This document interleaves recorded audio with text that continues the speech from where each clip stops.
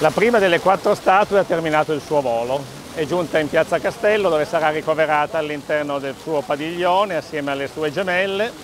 e dove verranno restaurate nei prossimi cinque mesi. Una, un trasferimento complesso eseguito con una tecnica utilizzata nelle cave di marmo per impedire che la statua subisca delle vibrazioni o dei dissesti. Qua eh, sarà smontata dalla sua intelaiatura,